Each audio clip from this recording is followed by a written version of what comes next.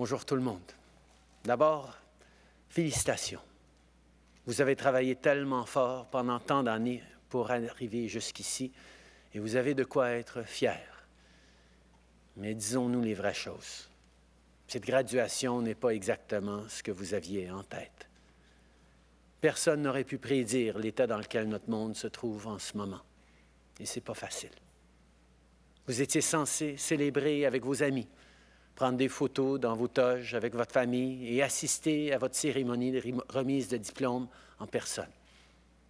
Compter les secondes jusqu'à ce que quelqu'un comme moi finisse son discours et penser à tous les parties, tous les parties auxquels vous irez plus tard ce soir. C'est un rite de passage. Mais cette année, c'est différent. Vous êtes différent. Aucun étudiant ne choisit le monde dans lequel il gradue, mais si vous aviez le pouvoir, vous n'auriez probablement pas choisi le monde de 2020. Les feux de brousse en Australie liés au changement climatique, l'écrasement d'avions tragiques en Iran, la tuerie la plus meurtrière de l'histoire de notre pays, des scènes horrifiantes de brutalité policière envers les Noirs et les Autochtones, et bien sûr, la raison pour laquelle on ne se réunit pas en personne aujourd'hui, la COVID-19, qui a déclenché la plus grande crise sanitaire et économique depuis des générations. Vous faites donc face à des obstacles additionnels et ça crée beaucoup d'incertitudes dans votre vie. Et vous avez dû faire des sacrifices considérables au cours des derniers mois. Vous avez dû complètement repenser vos plans pour l'avenir et donc tous les stress se multiplient. Tous ces événements ont aussi exposé les failles et les limites de notre monde, du monde que vous êtes sur le point d'hériter. Et c'est inquiétant même alarmant. Mais ça provoque aussi une prise de conscience parce qu'on réalise à quel point on a besoin de vous. Votre génération a toujours senti ce qui n'allait pas dans le monde et ce qui devait changer. Vous avez marché pour le climat. Vous avez eu le courage de dire moi aussi. Vous nous avez poussés le long du chemin de la réconciliation. Vous êtes allé manifester pour Black Lives Matter. Vous avez lutté pour la liberté d'aimer qui on aime et d'être qui on est. Obtenir son diplôme, c'est tout un exploit, mais vous n'aviez jamais eu besoin d'un morceau de papier pour dénoncer l'injustice. Vous n'aviez pas attendu d'avoir terminé vos études pour exiger du changement, pour être porteur de changement. Peu de promotions auront fait face à un défi de cette taille en sortant de l'école, mais celle de 1939 vient en tête. Les membres de la plus grande génération sont sortis de la dépression pour combattre dans une guerre mondiale qui n'avait pas déclenché. Et face aux ravages de ce conflit, ils ont choisi de se retrousser les manches et d'unir leurs forces pour bâtir un monde meilleur. Ils ont érigé les institutions multilatérales qui nous, ont soutenus pendant la deuxième moitié du 20e siècle. Ils ont fait du monde un endroit plus solidaire, plus compatissant et plus pacifique. Ils ont fait des sacrifices énormes. Ils ont rêvé grand et ils ont travaillé très fort pour nous laisser un monde meilleur que celui qu'ils avaient hérité le défi qui vous attend n'est pas si différent. Les choix que vous ferez, les gestes que vous poserez au cours des prochaines années décideront de l'avenir de notre pays et de notre monde. Et je ne peux pas imaginer des gens mieux préparés que vous pour nous montrer la marche à suivre. La COVID-19 vous a enlevé plusieurs choses dont la possibilité de participer à une cérémonie de remise des diplômes en personne. Je sais que les derniers mois ont été très frustrants. Mais on a aussi tiré plusieurs leçons importantes de la pandémie. D'abord, on a appris à quel point on a besoin les uns des autres pour concrétiser nos ambitions. Pour en finir avec le virus, tout le monde doit faire sa part et vous n'avez pas manqué à l'appel. Vous avez fait des sacrifices pour protéger nos aînés. Vous avez terminé votre dernier semestre en ligne. Vous n'avez pas serré vos amis dans vos bras ou eu une date depuis des mois. Vous avez choisi d'aller aider vos parents, vos grands-parents et votre communauté pendant cette période difficile. Que vous fassiez du bénévolat dans une banque alimentaire ou que vous aidiez une entreprise à s'adapter à la nouvelle réalité, vous faites votre part.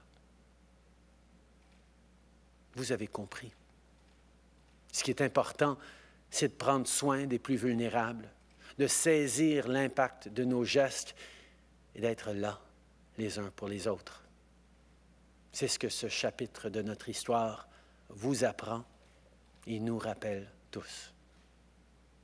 Que l'amitié est importante, que les gens qui nous entourent sont importants.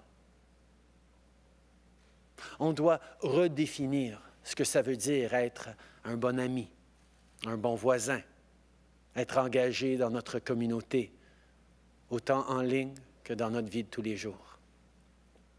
Et c'est quelque chose que vous êtes particulièrement bien préparé à faire.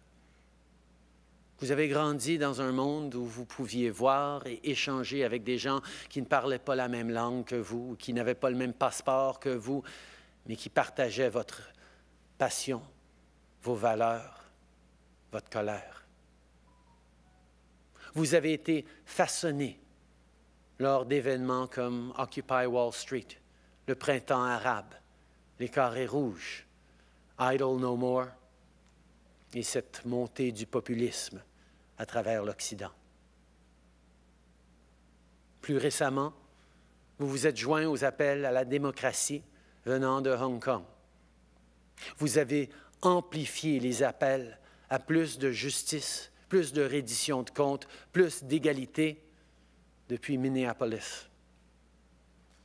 Vous comprenez non seulement la valeur, mais le pouvoir de l'esprit communautaire mieux que la plupart. Et c'est pour cette raison que je crois que vous allez devenir la plus grande génération du 21e siècle. Vous, savez ce qui ne fonctionne pas dans le monde et vous êtes prêt à le changer.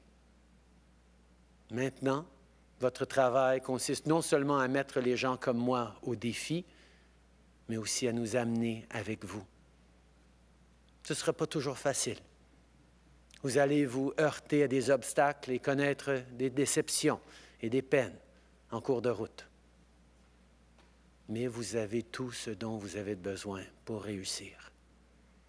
Vous êtes brillant, talentueux, créatif et ambitieux. Vous êtes aussi passionné, gentil et rempli d'empathie. Et vous êtes Canadien. Vous êtes connectés et vous êtes les bienvenus aux quatre coins du monde. Vous appréciez les privilèges, les opportunités et les responsabilités qui viennent avec le fait d'être Canadien. Mais vous savez aussi que notre pays est loin d'être parfait. Vous savez qu'on a encore beaucoup de travail à faire. Votre génération n'a jamais eu peur de se confronter à cette dure vérité. Et ça ne diminue aucunement notre fierté canadienne. Au contraire, notre détermination à faire mieux, notre volonté à apprendre et notre optimisme par rapport à l'avenir est au cœur de qui nous sommes en tant que pays.